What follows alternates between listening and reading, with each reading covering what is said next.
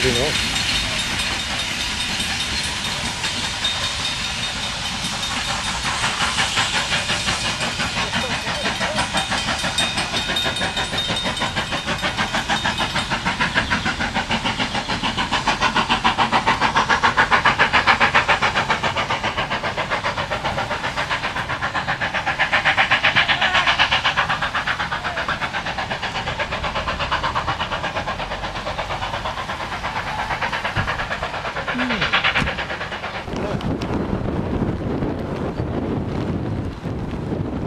Probably got a speed limit on the bridge.